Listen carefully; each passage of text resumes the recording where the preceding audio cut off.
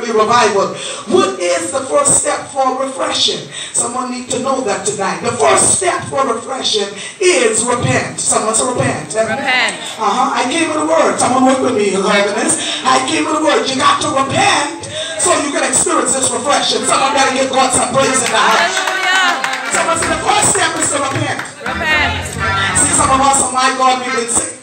18 years longer, or maybe over 30 something years, we say, well, anyhow, I, I, I, I, I don't have to repent. I, I walk with God all those years, and, and I'm in church, I'm serving, I'm prophesying, I'm doing this work. I, am, I'm, I'm serving on the altar, I'm serving, I'm preaching the word, but hey, I don't need to know, go through no repenting. Uh, repentance, no, no, I don't need to repent. Uh, hallelujah. Can I tell you, not only the sinner man repent, uh, but even the Christians have got to repent. Uh, we got to turn. Uh,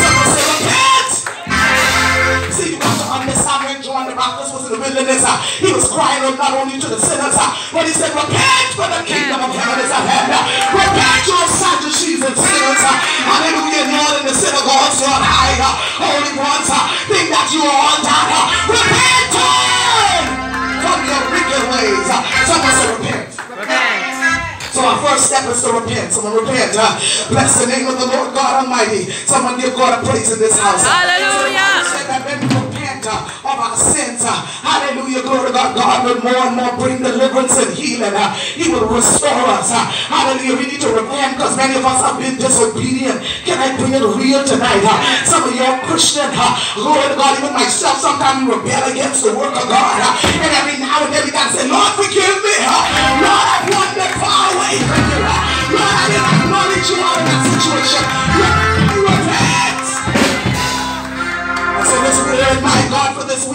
is for the body of Christ at large as well for the sinner man. Uh, I've got to make them to know that Jesus is soon to come. Uh, and God wants to more and more turn uh, a backslider back to him. Uh, he want to turn that one from my uh, on my God, into a missionary.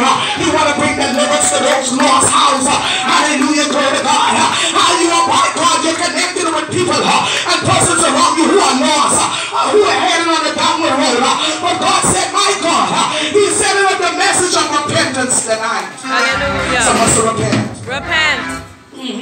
Obviously, sin hinders the visitation of God. Someone need to turn your neighbor and say, sin hinders the visitation. We want refreshing, but sin is going to hinder it. Uh, disobedience will hinder it. Someone better give God some praise in this house.